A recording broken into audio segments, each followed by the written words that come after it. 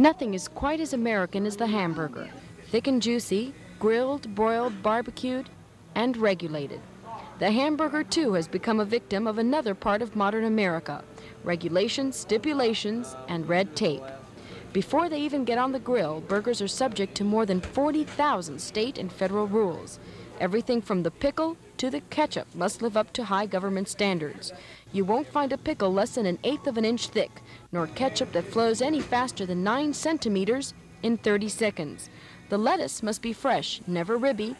Then there are the essential 1.8 milligrams of thiamine, 1.1 milligrams of riboflavin, and 8 but not more than 12.5 milligrams of iron, just for the bun alone. And the rules get even more strict when it comes to the real meat of the sandwich, the hamburger. It goes through more checking than any other cut of meat. Rib roast is identifiable, but once you grind or patty or, or um, cube, it, you lose the identity, so you have to have a federal label to prove what it was made out of or the, what the contents uh, consist of. But even the hamburger hassles don't take the fun out of eating them. Diana Gonzalez, Channel 4 News.